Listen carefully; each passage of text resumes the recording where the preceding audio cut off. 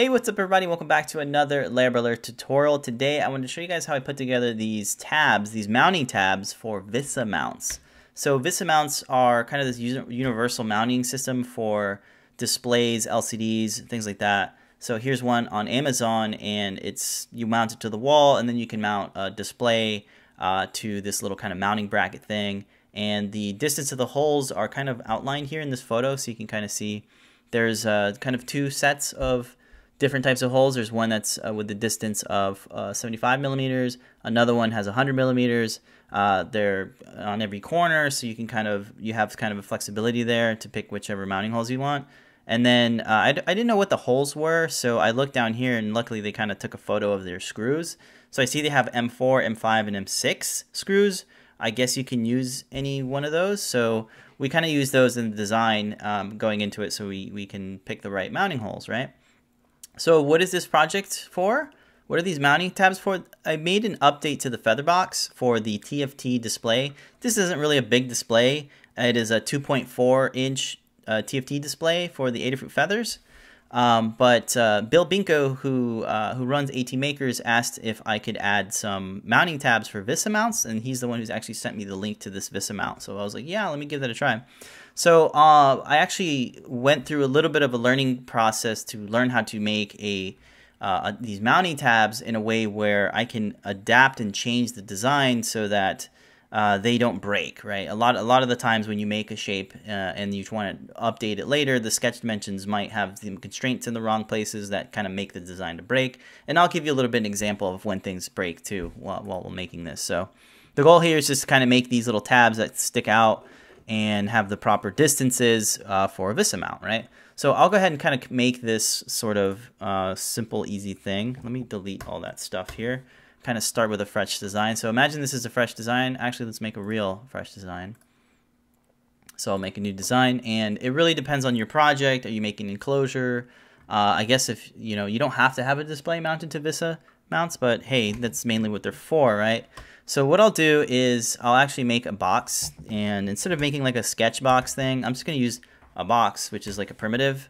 So I'll click on and start working on this. It, it depends on kind of what um, what the dimensions are. I don't really have any dimensions set up in mind for this example, but I'll just throw in some numbers in there. The height doesn't really matter, but um, maybe we'll make it that high or something.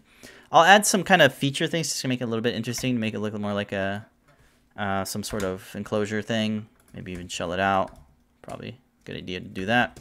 All right, so I got my little enclosure thing. Now I'm ready to kind of add tabs. Oh, let's do some uh, one more fillet before the shell. Do one here at the bottom, make it like 1.5. There we go. This is all just aesthetic stuff, but it, it kind of helps because it's not so sharp on your hands if you're hand holding it. Anyway, we got our little box here. Now it's time to make tabs. Uh, you need to decide where your tabs need to be. Do you want them to be on this side or on this side? Do you want to make four of them? Do you want to make two of them? I'm just making two of them. It's such a small display, so I think two of them would fine, but you could kind of add an extra step at the end uh, to simply add a fourth, a second set of tabs. All right, so now that I got that, uh, the next thing I'm going to do is I'm going to figure out what, um, I'm going to use a sort of a mid-plane to figure out the, uh, the distance, not the distance, but to figure out the the plane, uh, I just need to make a plane that is in between this face and this face, right? And that'll give me a way, a construction plane to be able to mirror later when I make one tab. Because I, I, just plan to make one tab and then duplicate that tab but I need a, a sort of a mirroring plane to do that. So there's this thing called construction. Under the constructions window, it's called a midplane, so I'm going to click on that. Actually, let's read that. That's actually a little bit better. Creates a construction plane at the midpoint between two faces or work planes. That's what I want. Let's click on that. Click on this one, and then this one, and then I get my midplane. The midplane is, is under the construction window that just folder that just kind of got created, so we can turn this off and on whenever we need to. It's just kind of setting this up. Next thing I'll do is I'll make my sketch where I'm going to start drawing out that mounting tab. So I'm to I'm to click on the bottom of this enclosure because I do want it to be kind of attached to the bottom. And I'm to hit P on my keyboard for project. That'll kind of just make a sketch automatically and project that bottom surface onto the sketch. So if I hide the body, you can see that the sketch is kind of here. Let me turn hit OK with the projection. Just accept that, whatever. So now that I have this plane, I can start working on my thing. Uh, the next thing I'm to do is I'm to make some construction lines uh, so that everything is centered. I want the, the tab to be in a very specific spot of the enclosure in the exact center. So to do that, uh, I'll use the line tool and then I will kind of make a mid-plane thing. So I'll make a line and as I kind of drag on this, you get this blue dotted line that just lets you know that you are in fact on that edge of an actual profile. It kind of locks into place too, gives you a little bit of playroom. Once you see the mid the triangle, that lets me know that's a midpoint. So I'm going to click on that point and then kind of move my cursor over until where I think is the next midpoint. This is the next midpoint. I hit OK. And now I have these two triangles. These little icons let me know that I am indeed in the middle here. So no matter how I try to move this, it is now locked into the center of this. If I ever update the enclosure, these lines will adapt with it. So if everything's driven and constrained with this construction line, that's some good stuff. So I'm going to hit X on my keyboard to make it a construction line so it's not intersecting this thing. And I'm going to do the same thing, but for horizontal. No, vertically. So over here and over here. We just did horizontal. So now I'll grab it again, select it again, and then hit X. So now I have my kind of setup here. This reminds me a lot of my UX design stuff days where I would use Photoshop and make graphics and stuff. I would always do something similar to this where I'm always making guidelines so that I know I'm in the center of stuff. Okay. The next thing gonna do is I'm gonna make my mounting hole, right? So I'm gonna use the circle tool and what I'll do is I will kind of, I want it to come out this way. So by dragging my, my cursor over the, uh, the construction line, Fusion kind of gives me a guideline, a, a, smart guide to let me know I am in the center here. So I'm gonna click on that and then make it, uh, what was it, M5 or M4? Doesn't matter, we can change it later. So I'm gonna use M5 for this one there's nothing kind of constrained yet, so I can move this around and it doesn't care because there's no rules set to it.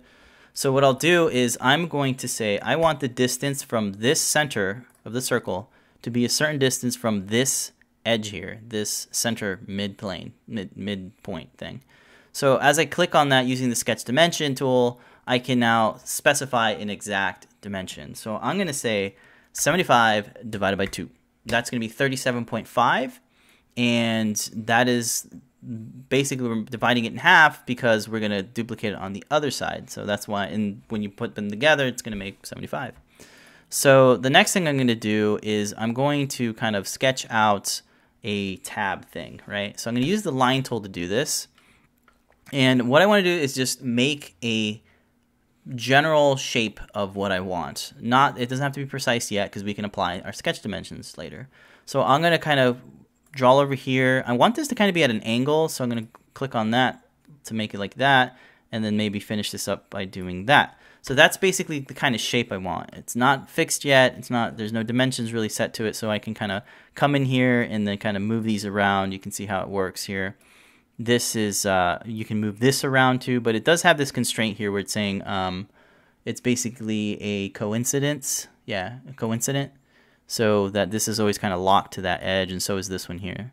Uh, what's another thing we have? We have a uh, another constraint here that was applied automatically for us. It is the equal. So this is always equal to this guy in terms of kind of um, is it, is it horizontally equal? They're kind of always horizontally equal with each other. Um, or maybe it's parallel. Maybe they're parallel with each other. Maybe that's what it is. I'm not sure if it's the equal one or yeah, it's the parallel. So these two are always parallel with each other. Um, so that's great. So I have some constraints set. Let's let's make some more constraints, right? Next thing I'm going to do is I want to have a very specific kind of uh, angle from this thing to this thing, right? So what I'm going to do is I'm going to use the sketch dimension. I'm going to click on this edge and then this edge here that was projected that goes along with the bottom of the, the case. So I'm going to click on that. And instead of uh, a dimension, it's more of well it is a dimension but it's it's an angled dimension. So you see how that's a 76.6 if I click that I can change this now. I'm actually round this out to just 70 and now I get this kind of line that is always going to be at a specific angle from the edge over here. So I could still move this okay that's still there but I have it locked to where it won't kind of uh, the, the angle will always be the same. So that's cool. So let's do the same thing for the bottom. I'll say this guy and this guy need to have an angle of 70 like that. Okay cool. So how are we doing? Are we able to kind of move this? Yes we can still move this around. There's nothing locked to it yet so let's keep working on it more.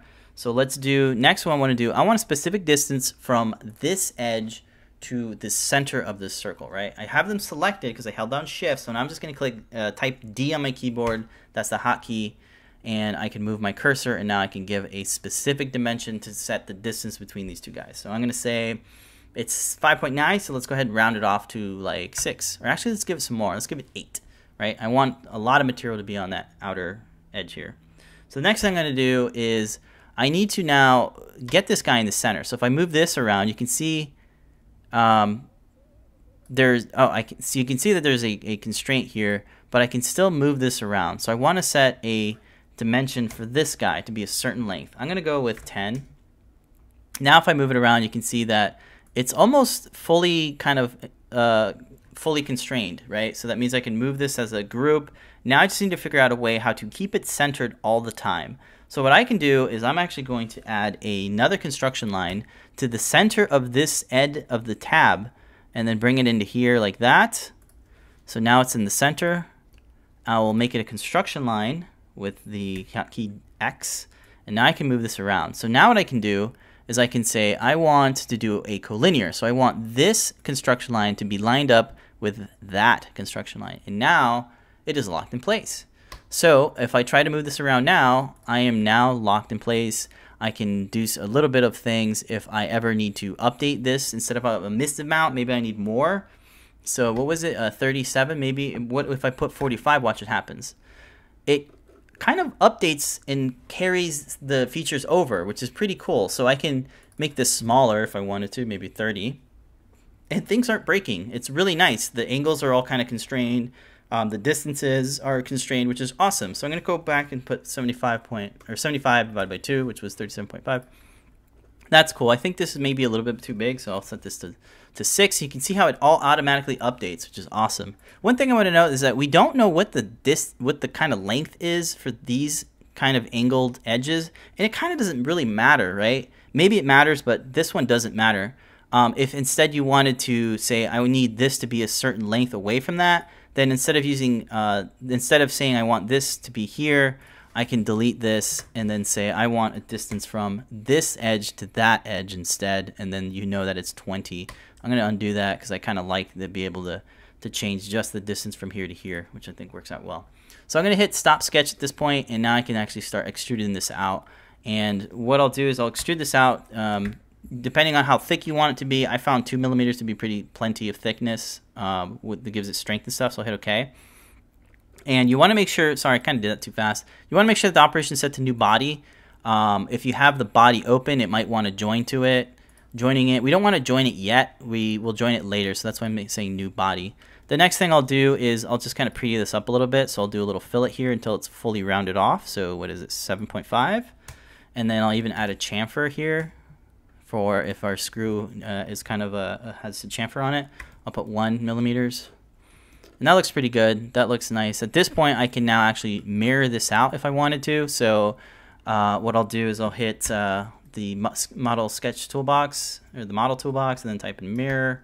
Click on that. I'll select my object. Make sure the pattern type is at bodies because we're selecting bodies. And then I'll change this selection to mirror plane. I'll bring back that mid plane that we did in the beginning. Click on that you get a little preview of where it's going to go. That's exactly where we want to go. So I'll hit OK, and now we have our two tabs. The last thing I'll do is I'll combine all these things together. So I'll, I'll type in combine, and then select these three here, like that. And the operation set to join, which is good. Hit OK. And that's kind of it, guys. So one of the cool things is that because this is driven with uh, the center-based kind of uh, sketches, I can come in here and update the length here of our box, hit OK, and it broke. That's very, very odd. It shouldn't have broke. Let's go back in there and see what happened.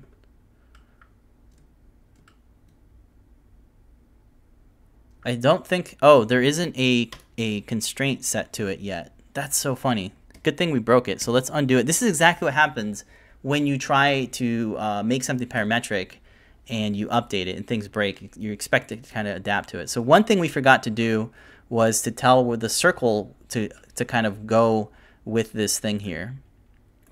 So to do that, all I did was I clicked and dragged and then this X popped up.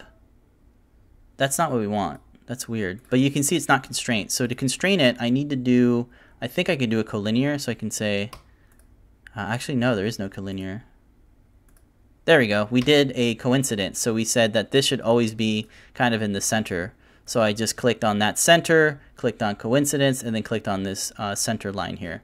So now it'll always update. So let's try doing that update again. I'm kind of happy that that mistake happened because that's kind of what would happen if you didn't apply that constraint.